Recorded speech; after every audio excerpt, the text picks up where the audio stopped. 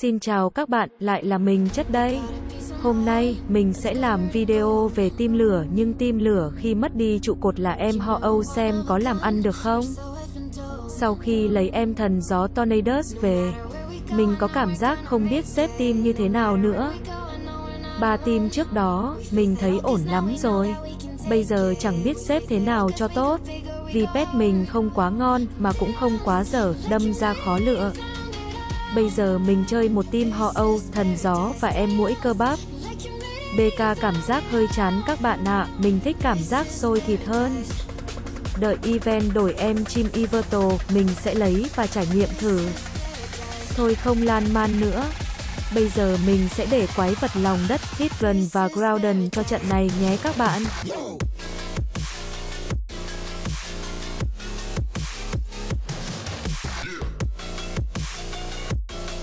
Đã tim lửa là phải chơi cái huy hiệu trị liệu của sự đam mê chứ. Đối thủ test team ngày hôm nay sẽ là bạn 69. Trước khi bắt đầu thì đây là chỉ số của em quái vật lòng đất pet chủ lực tim lửa của mình từ nay về sau. Ngay sau đây là chỉ số của team bạn 69.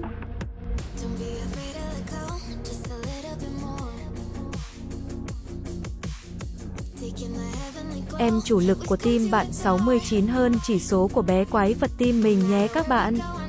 Bây giờ mình sẽ bắt đầu trận đấu. Mình sẽ để auto tất cả cho đỡ mỏi tay nhé.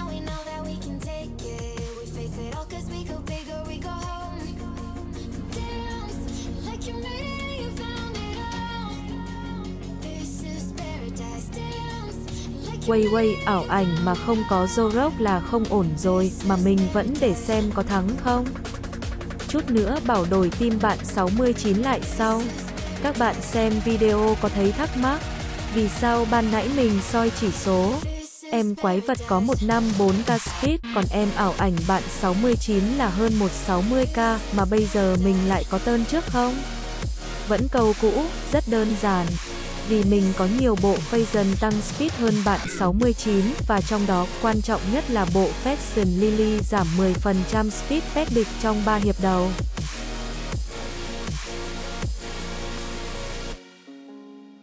U là trời, bé Hidron bá chủ bây giờ phế quá. Lại phải truyền thôi. Vậy là mình win chắc trận này rồi. Chỉ còn em họ Âu cô đơn thì không thể hạ em quái vật của mình được.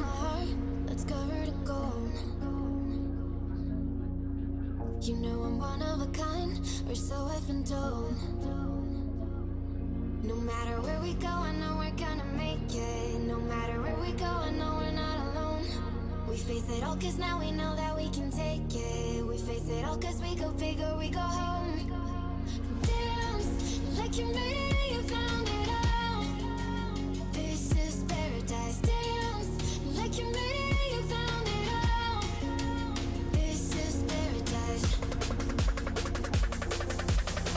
Sau khoảng 2 phút em quái vật của mình đã có chỉ số thủ hơn chỉ số công luôn rồi he he he. Với gần 1 triệu ba thủ đép thì em họ Âu bạn 69 thành chim bất lực thôi.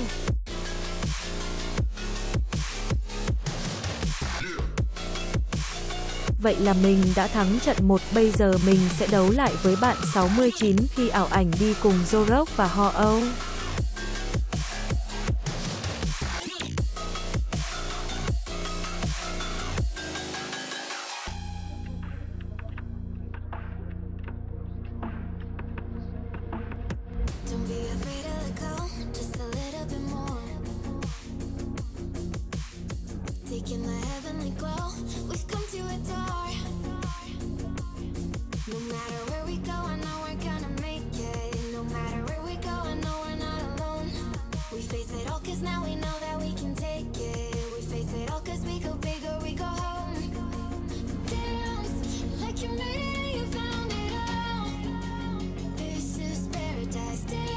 Eo ôi, em Hidron chắc chắn lại quay về ghế dự bị rồi, quá sida có em cáo nhỏ Zorok vào tim bạn 69 đánh khác thế.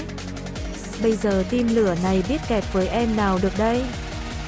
Hai, bây giờ, mình thử thay hit gần bằng em cáo Zorok xem như thế nào nhé các bạn.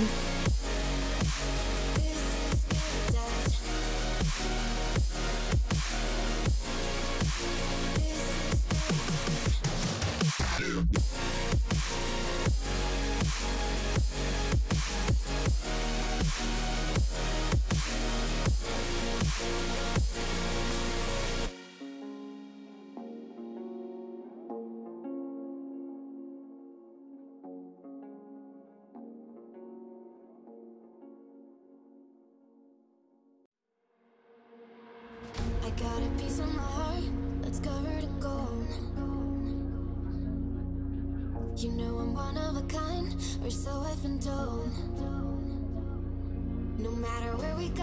we're gonna make Có em Zorok vào làm ảo ảnh không được ăn bắp hoàn cảnh. Đánh thấm thế, cơ mà mình lại muốn chơi cả team ảo ảnh nữa. Thì team quái vật này đi với em pet nào được?